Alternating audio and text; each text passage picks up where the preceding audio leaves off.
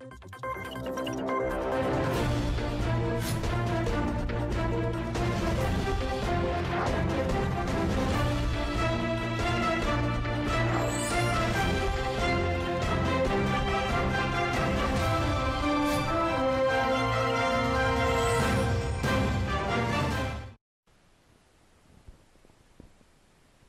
លោកលោកស្រីប្រិមត្តទូរទស្សនិកជនជាទីគោរពនៅពេលនេះសូមគោរពជូននៅព័ត៌មានជាតិដែលមានមេត្តាសំខាន់សំខាន់ដូចតទៅ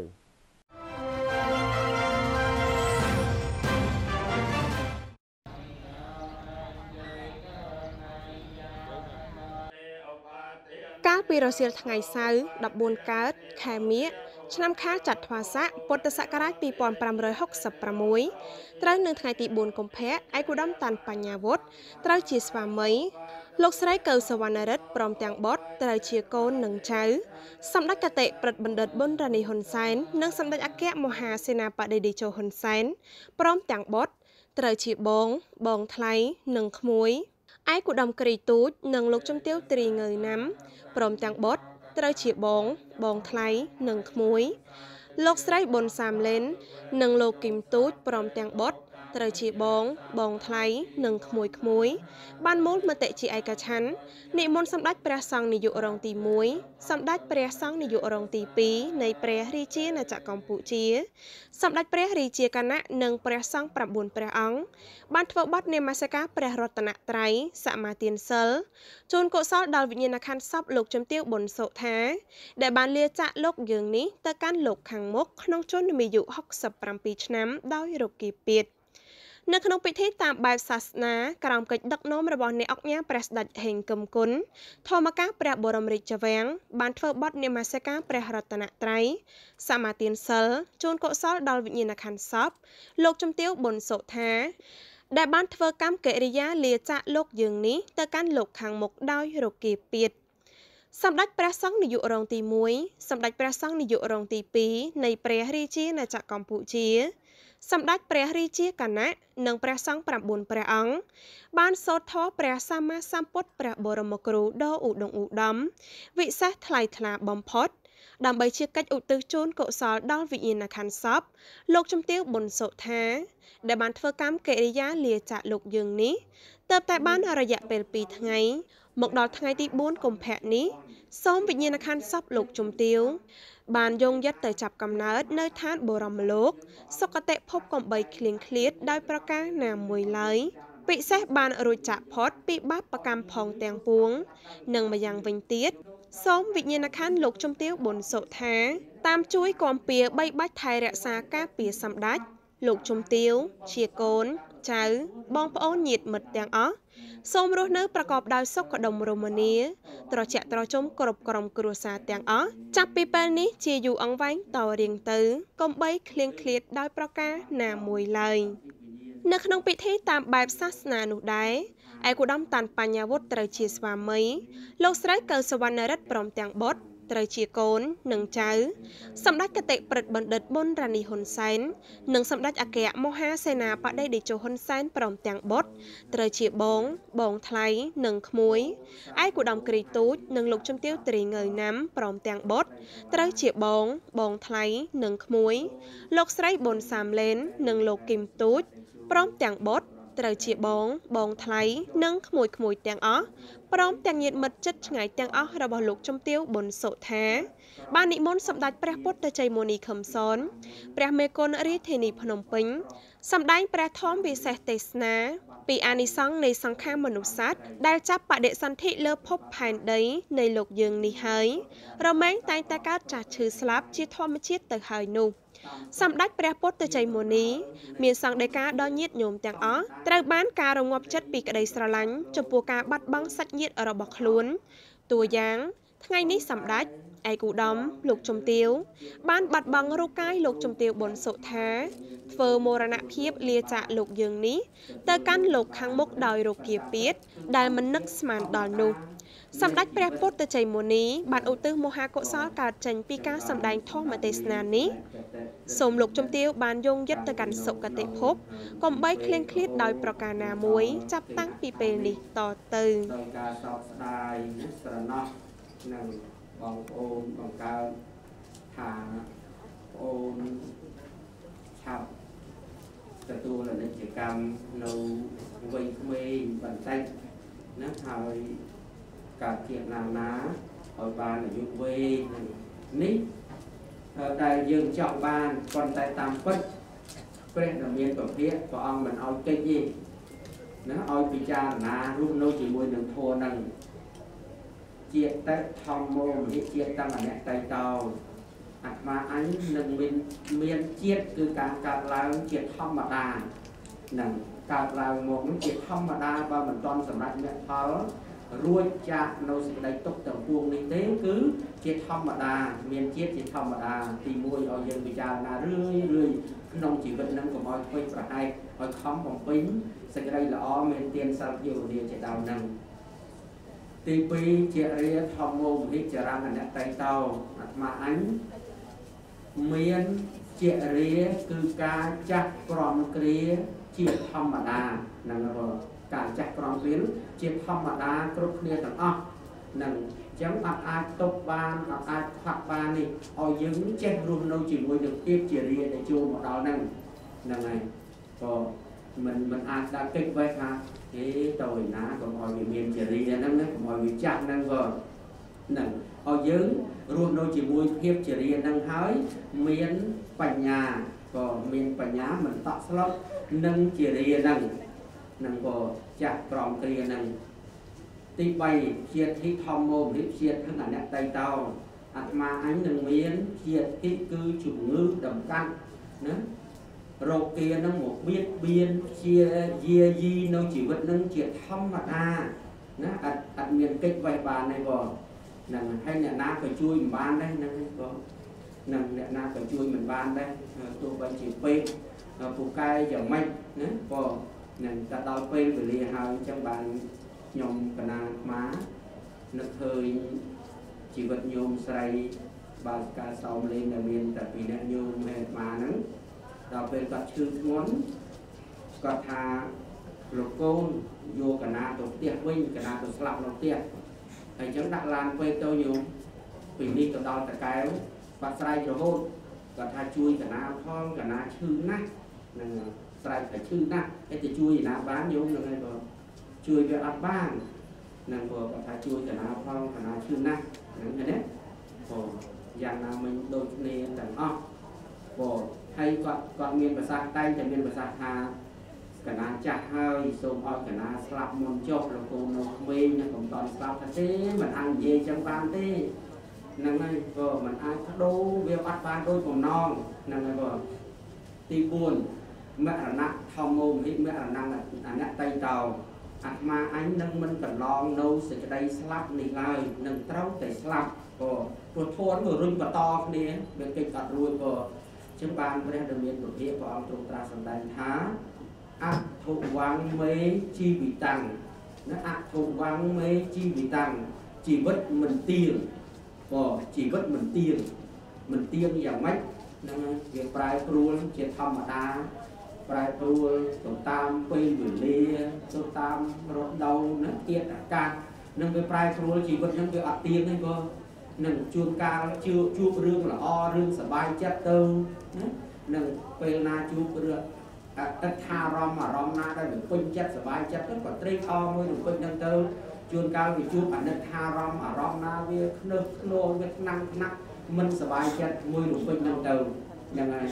ព្រោះដូចសេចក្តីសោកអញ្ចឹងសេចក្តីស្លាប់អញ្ចឹងមានណាចង់បានមានយល់ហ្នឹងហ្នឹងបងអត់ចង់បាននេះទាំងអស់គ្នាប្រកាសជាមិនចង់បានទាំងអាត្មាទាំងញាតិញោមចង់បានតែការជួបជុំប៉ុន្តែធម្មតានឹងក្រាត់ក្រមនៃធម្មជាតិគឺធម្មតាក៏នៃជីវិតនឹងកើតមកត្រូវតែអញ្ចឹងក៏កើតមកហើយអត់ចាំថាចាស់ថាក្មេងនេះអញ្ចឹងឲ្យមិនទៀងនឹងវាអត់ទៀងជាទុកជាសក់អីហ្នឹងក៏ ធុកវាំងមេមរណងប៉ុន្តែសេចក្តីស្លាប់នេះទៀងយល់យល់ណាហ្នឹងហើយតាមពិតចេះទាំងអស់គ្នាធម៌ហ្នឹងបងចេះទាំងអស់គ្នាទាំងអាត្មាទាំងញាតិញោមហ្នឹងហើយអាត្មាចូលមកបួស30ឆ្នាំជាងប៉ុន្តែញោមស្លាប់នៅតែយំក៏នៅតែស្រាប់ទឹកភ្នែកពុំមានតែពីរអ្នកម្ដាយរៀងកូនក៏មីងនៅសល់3អ្នកទៀតកូនចៅអីប៉ុន្តែមីងពោគេទៅបាត់ក៏ហ្នឹង ហើយនេះវាវត្ថុជនហ្នឹងត្រូវត្រូវតែនៅសោកស្ដាយសង្រេងអញ្ចឹងប៉ុន្តែព្រះសម្មាសម្ពុទ្ធដែលព្រះអង្គបានត្រាស់ដឹងនៅសច្ចធម៌ទុក្ខសច្ចៈទុក្ខយៈសមុទយៈសច្ចៈទុក្ខនិរោធសច្ចៈទុក្ខមគ្គសច្ចៈនោះគឺធម៌នោះពិតធម្មតាជាធម្មជាតិគឺគ្មានអនាគតវិញទេអញ្ចឹងឲ្យយើងចេះរស់នៅណាជាមួយនឹងជីវិតនឹងថាជីវិតនឹងធម្មតាអញ្ចឹងកាលណាមានជាតិហើយ ត្រូវមានជារាណាចាក់ក្រំគ្រាជាធម្មតាកាលណាមានជារាហើយមានជាភិកជំងឺដំកាត់ឈឺនឹងជាធម្មតាប៉ុន្តែមិនឲ្យធ្វើប្រហែលទេឲ្យយើងមើលឲ្យជាបាលកុំថាធម៌នឹងជាធម្មតាធម៌ពិតអញ្ចឹងកុំជាបាលមិនមើលបន្ថែមប្រមាថទៀតទេចូលការធ្វើប្រហែលខ្ញុំណាព្រោះលោកថាឲ្យចេះរស់នៅហើយអឺឲ្យកើតបញ្ញាគឺ ធ្វើនៅសេចក្តីល្អហើយចម្រើនបញ្ញាឲ្យកើតឡើងដើម្បីសិក្សាឲ្យស្គាល់ថាជីវិតនោះគឺធម្មតាអញ្ចឹងព្រោះចម្រើនណាកាយានុបស្សនាសតបដ្ឋានណាវាគ្រាន់តែជាកាយតែប៉ុណ្ណោះណាទៀតនឹងវាអត់ដឹងទេហ្នឹងហើយព្រោះនឹងវេទនានុបស្សនាណាសក់ទុកជាសក់ជាទុកអីជាធម្មតាប៉ុណ្ណឹងហ្នឹងហើយវាវាអត់ទៅជាអ្វីទេ កាលណាប្រាក់ចាក់វិញ្ញាណហើយកាយនេះដូចកំអង្កត់អុកអត់ដឹងទេព្រោះនឹងដូចកំកត់អុកអត់ដឹងអីទេនឹងវិញ្ញាណប្រាក់ចាក់ចេញពីកាយហើយនឹងទៅបរិសន្ធនេះនៅក្នុងទីណាកន្លែងណាមួយទៀតណាសាងនៅរូបនេះថ្មីទៀតជារឿងធម្មតាទានរបស់លោកជំទាវបុណ្យសថាហើយបុណ្យសង្ឃឹងសូមឲ្យមានបានទទួលអនុមោទនាបុណ្យអំពីសម្ដេចតេជោជាបងថ្លៃនិងសម្ដេចកតេព្រះកបណ្ឌិ តជាបងបង្កើតនិងបងប្អូនសាច់ញាតិកូនចៅទាំងអស់ដែលបានធ្វើកិច្ចកណាលោកប្រទានជូនសូមឲ្យវិទ្យាបុណ្យសថាអនុមោទនាបុណ្យនេះហើយបានទុកបដិសន្ធិទីខ្ពស់ខ្ពស់មានសុខភាពភពនិងមនុស្សជាន់ខ្ពស់ជាដើមបានសុខបានចម្រើនជីវយុភាពហើយតាមអភិបាលរក្សាសម្ដេចតេជោសម្ដេចតេតេព្រះកបណ្ឌិតនិងបងប្អូនកូនចៅក្រុមញាតិទាំងអស់ហើយតំលោកជំទាវសប្បុរសប្រុសស្រីទាំងអស់ ឲ្យបានសំប្រកបតែសេរីសួស្តីជ័យមង្គលនិពលសុខគ្រប់ប្រការជាប្រជុំធំការរុងរឿងប្រជាទុកសោករោគគេកគូប្រកបដោយចិត្តមានទីធាយុយឺនយូរជាង100នៃឆ្នាំគឺអាយុវណ្ណៈសុខៈពលៈនិងសម្បត្តិដ៏ល្អទាំង3ប្រការមនុស្សទេវតាព្រះនិព្វានសម្ដេចទ្រង់ឯកឧត្តមលោកជំទាវសប្បុរសប្រុសស្រីនៅក្នុងលោកសម្បត្តិណាពូណាសូមបានសម្រេចសម្រាប់ជីដូសេចក្តីប្រាថ្នាអាយ៉ាងសង្ឃេពេញសម្បតា ពធទេសនាដែលខ្ញុំកណាស្មារតីបានរតនីមកសម្ដែងថ្លែងក្នុងវរោកាសនេះសំគួរតាមកាលវេលាតែប៉ុណ្ណេះឯងអេវ៉ាំង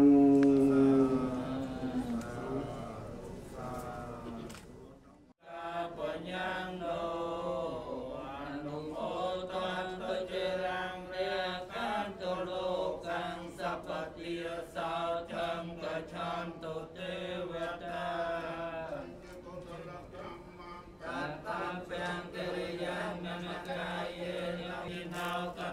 បញ្ញបលាំងៃនាងសាពេវិយពីប្រវទាយេចតតនជានន្តទេវិកនថ្វានិវេតយងសាពេលោកកម្មយេសន្តាជីអនុមោទនីសា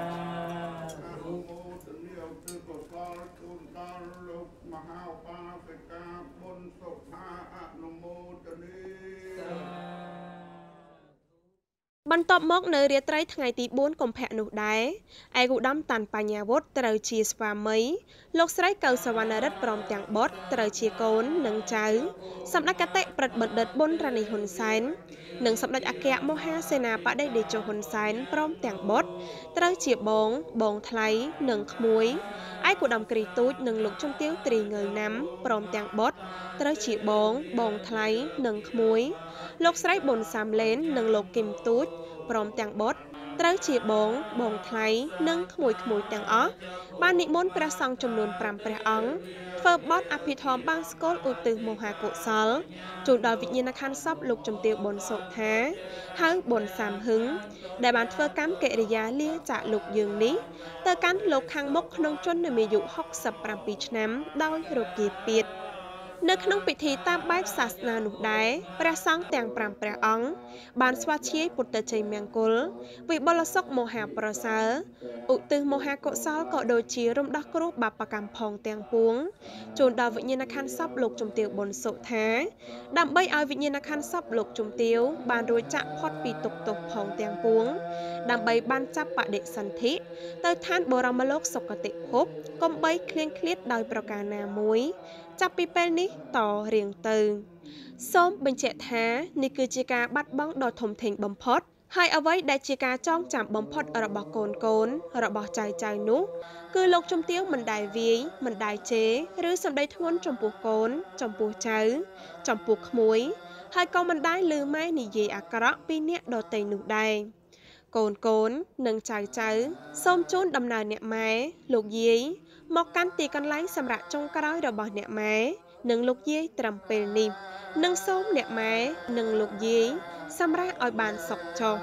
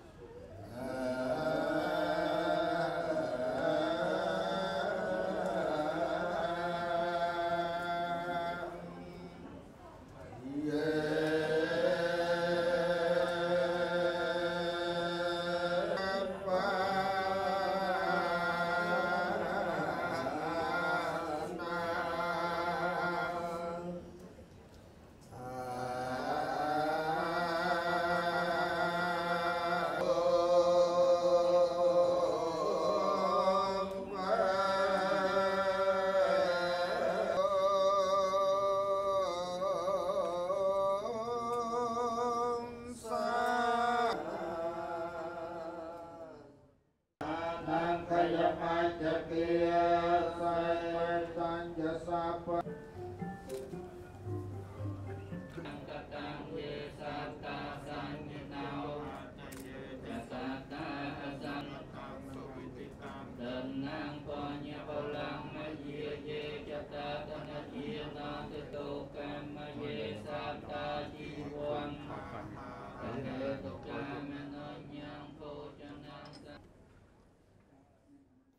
នៅព្រឹកថ្ងៃអាទិត្យ15កើតខែមិញឆ្នាំខាលចត្វាស័កពុទ្ធសករាជ2566ត្រូវនឹងថ្ងៃទី5ខែកុម្ភៈដែលត្រូវជាថ្ងៃទី3នៃពិធីបុណ្យតម្កល់សព ឯកឧត្តមតាន់បញ្ញាវុធត្រូវជាស្វាមីលោកស្រីកៅសវណ្ណរិទ្ធព្រមទាំងបុត្រត្រូវជាកូននិងចៅសម្ដេចកតេប្រិទ្ធបណ្ឌិតប៊ុនរ៉ានីហ៊ុនសែននិងសម្ដេចអគ្គមហាសេនាបតីតេជោហ៊ុនសែនព្រមទាំងបុត្រត្រូវជាបង បងថ្លៃនិងក្មួយឯកឧត្តមគ្រីទូចនិងលោកជំទាវត្រីងើណាំព្រមទាំងបុត្រត្រូវជាបងបងថ្លៃនិងក្មួយ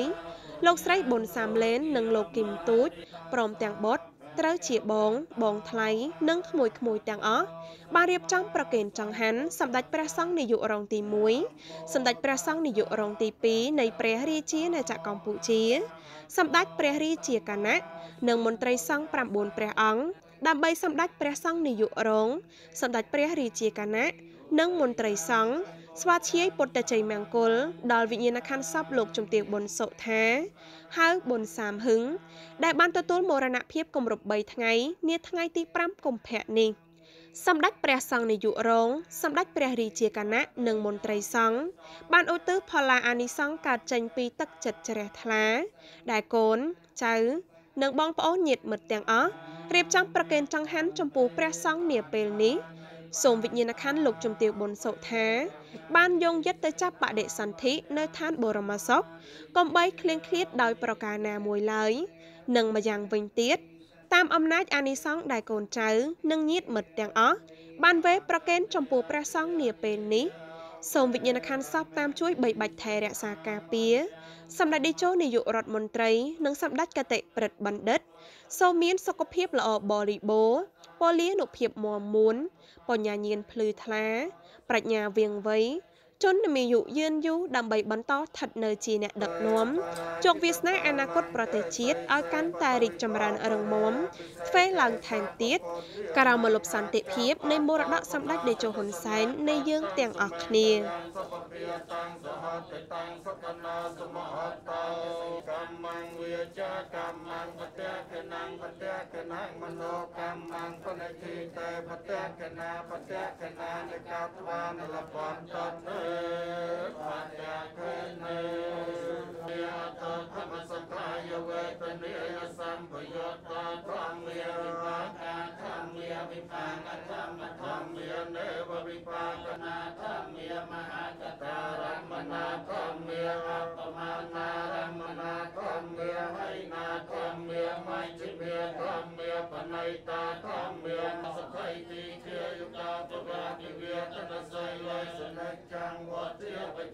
ណោចន្តារោធម្មយាវត្ថន្តិអាយុវណ្ណោសុខੰពលំ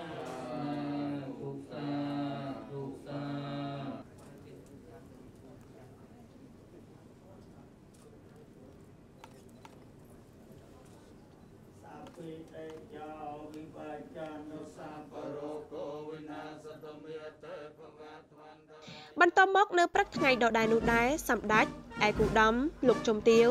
ជាអិសរាជជនជាន់ខ្ពស់របស់ព្រះរាជាណាចក្រកម្ពុជា បានអញ្ជើញនាំយកនៅកូរ៉ាន់ផ្កាដើម្បីគោរពវិញ្ញាណក្ខន្ធសពលោកជំទាវប៊ុនសុថាហៅប៊ុនសាំហឹងដល់ភូមិគ្រឹះដំកល់សពគណៈប្រតិភូជាន់ខ្ពស់ដែលអញ្ជើញគោរពវិញ្ញាណក្ខន្ធសពលោកជំទាវប៊ុនសុថានាពេលនេះរួមមានគណៈប្រតិភូទីស្តីការគណៈរដ្ឋមន្ត្រីដឹកនាំដោយឯកឧត្តមនេតេកោសលបណ្ឌិតប៊ិនឈិន ឧបនាយករដ្ឋមន្ត្រីរដ្ឋមន្ត្រីទីស្តីការគណៈរដ្ឋមន្ត្រី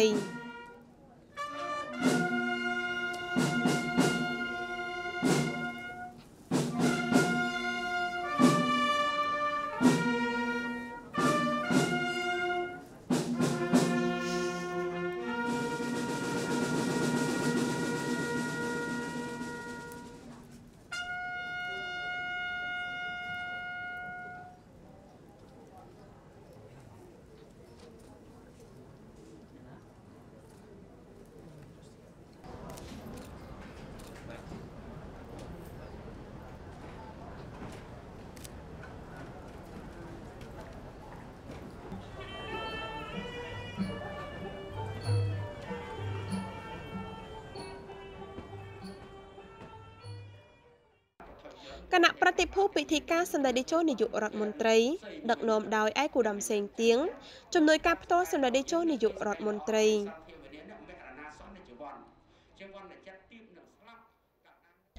គណៈប្រតិភូបញ្ជាការដ្ឋានអង្គរៈសម្ដេចតេជោនាយករដ្ឋមន្ត្រីដឹកនាំដោយឯកឧត្តមនាយឧត្តមសេនីយ៍ហ៊ុយពិសិដ្ឋឯកឧត្តមនាយឧត្តមសេនីយ៍ហ៊ីងប៊ុនហៀងមេបញ្ជាការអង្គរៈ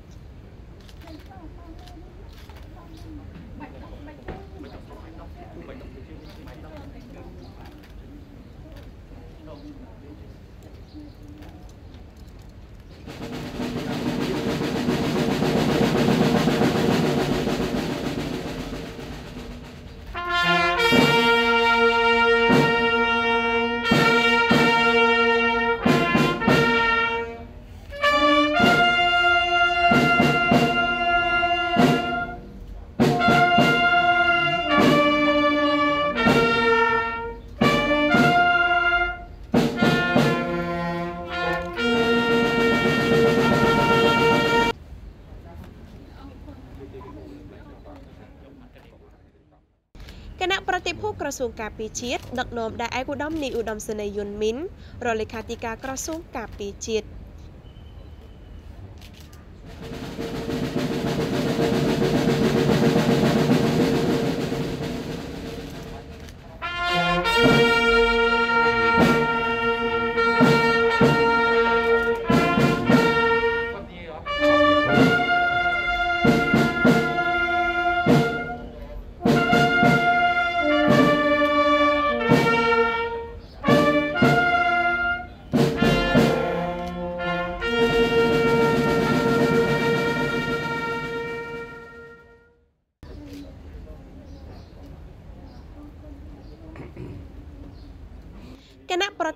រតិភូរដ្ឋបាលរាជធានីភ្នំពេញ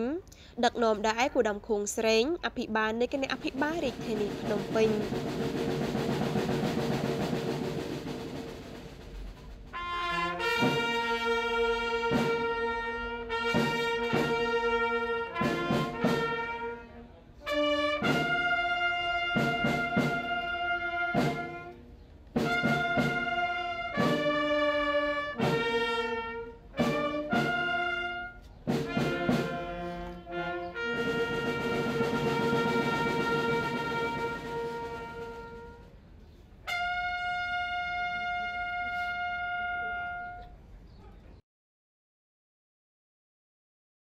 គណៈប្រតិភូពីគណៈកម្មាធិការជាតិគ្រប់គ្រងគ្រោះមហន្តរាយ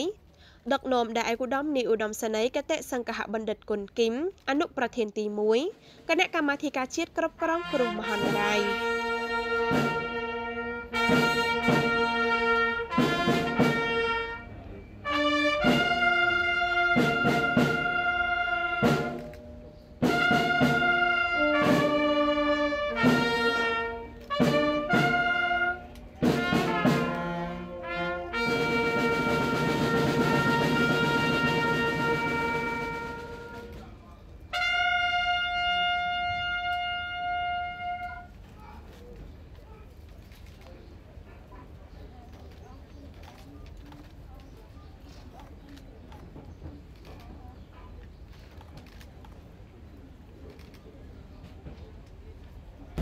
ណៈប្រតិភូមកពីកងរាជអាវុធហត្ថលើផ្ទៃប្រទេសដឹកនាំដោយឯកឧត្តមនាយឧត្តមសេនីយ៍សៅសុខាអគ្គមេបញ្ជាការរងនៃកងយុទ្ធពលខេមរៈភូមិន្ទនិងជាមេបញ្ជាការកងរាជអាវុធហត្ថលើផ្ទៃប្រទេស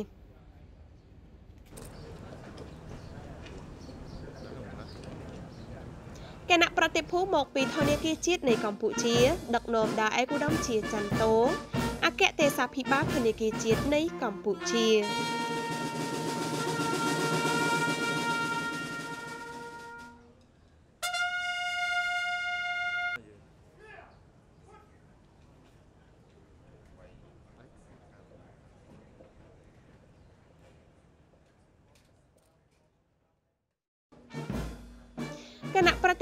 ពីខេត្តកំពង់ស្ពឺដឹកនាំដោយឯកឧត្តមវៃសំណាងអភិបាលនៃគណៈអភិបាលខេត្តកំពង់ស្ពឺគ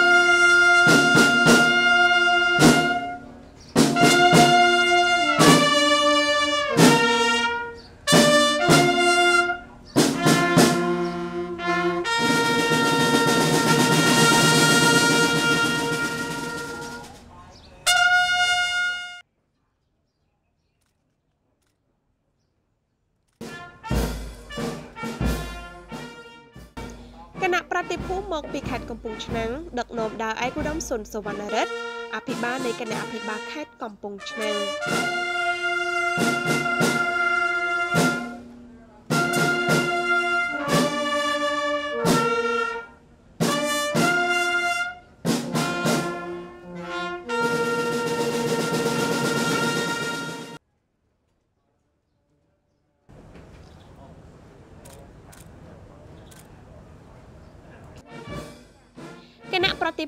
កពីក្រមប្រឹក្សាស្ដារវិស័យកសិកម្មនិងជនបទដឹកនាំដោយឯកឧត្តមយឹមឆៃលី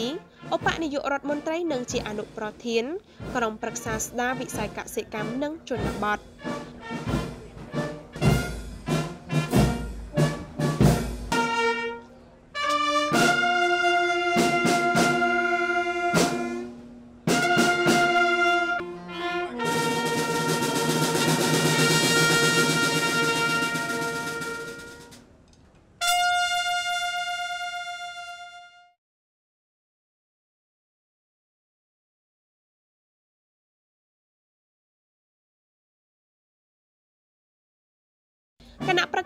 ពីក្រសួងផែនការដឹកនាំដោយឯកឧត្តមកតេសេដ្ឋាបណ្ឌិតឆៃថនទេសរដ្ឋមន្ត្រីនិងជារដ្ឋមន្ត្រីក្រសួងផែនការ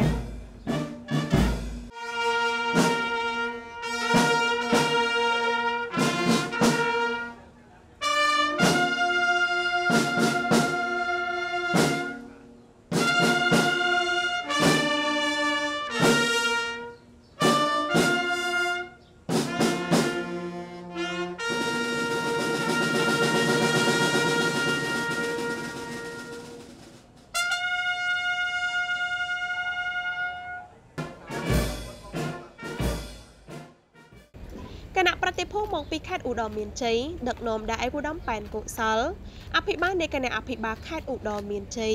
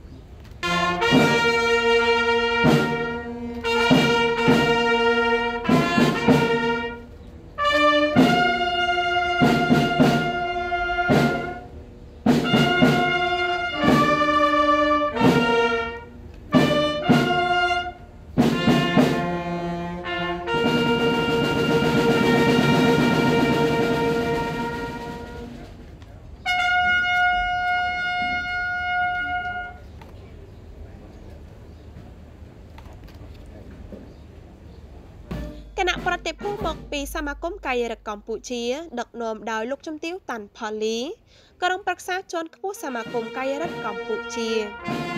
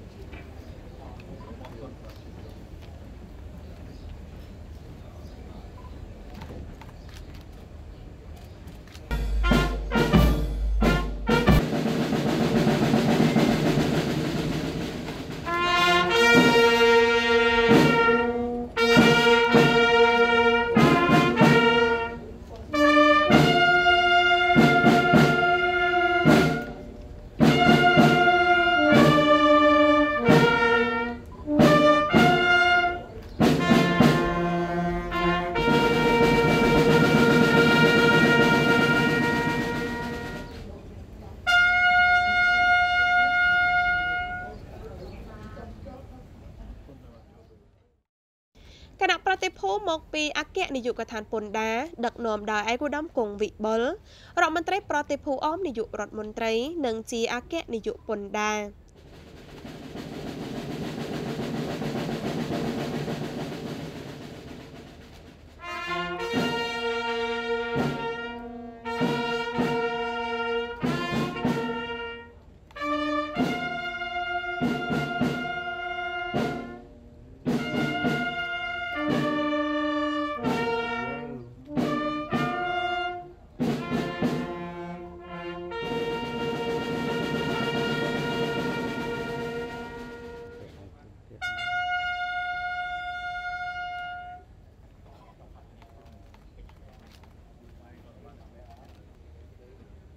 ឯកឧត្តមលីឡៃស្រេងអញ្ជើញគោរពវិញ្ញាណក្ខន្ធសពលោកជំទាវប៊ុនសុថា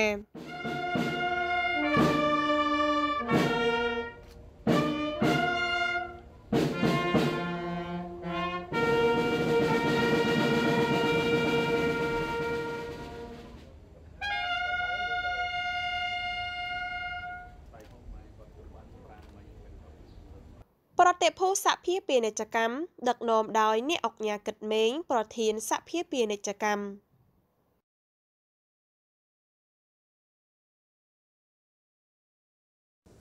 គណៈប្រតិភូមកពីខេត្តកំពង់ធំដឹកនាំដោយឯកឧត្តមអភិបាលរងនៃគណៈអភិបាលខេត្តកំពង់ធំ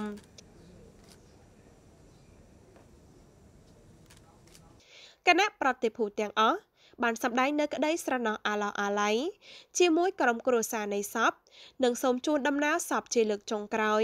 គ្មានថ្ងៃបានជួបគ្នាជារៀងរហូត ចំពោះលោកជំទាវប៊ុនសុថាដែលជាអិសរាជជនមួយរូបធ្លាប់បានចូលរួមចំណែកជាមួយរាជរដ្ឋាភិបាលដែលមានសម្ដេចអគ្គមហាសេនាបតីតេជោហ៊ុនសែនជានាយករដ្ឋមន្ត្រី ពិសេសបានចូលរួមបម្រើជាតិសាសនា ព្រះមហាក្សត្រ ពិសេសជាអគ្គពុទ្ធសាសនូបត្ថម្ភមួយរូបក្នុងការកសាងវិស័យព្រះពុទ្ធសាសនាឲ្យមានការរីកចម្រើនលើគ្រប់វិស័យរហូតទទួលបានគ្រឿងអិសារិយយសព្រះរាជាណាចក្រកម្ពុជាជាតូបកាដែលជាគ្រឿងអិសារិយយសថ្នាក់ខ្ពស់បំផុត របស់ព្រះរាជាណាចក្រកម្ពុជា ពីព្រះករុណាព្រះមហាក្សត្រនៃព្រះរាជាណាចក្រកម្ពុជា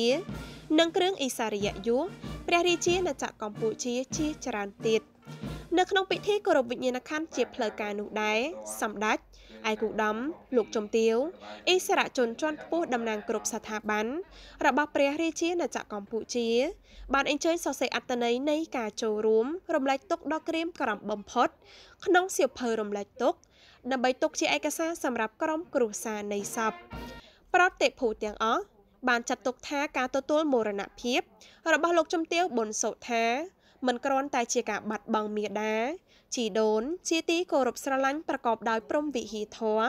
គុណធម៌និងកិត្តិគុណរបស់គ្រួសារប៉ុណ្ណោះទេប៉ុន្តែជាការបាត់បង់នៅពុទ្ធបរិស័ទដែលមានសទ្ធាជ្រះថ្លាដ៏មោះមុត ឧត្តមឧត្តមជាទីគោរពស្រឡាញ់នៃញាតិមិត្តចិត្តឆ្ងាយនិងជាការបាត់បង់នៅខេមរៈនារីខ្មែរមួយរូបដែលមានសេចក្តីអង់អាចក្លាហាន ក្នុងការតស៊ូពុះពៀគ្រប់ឧបសគ្គដើម្បីបុព្វហេតុនៃសេចក្តីថ្លៃថ្នូរ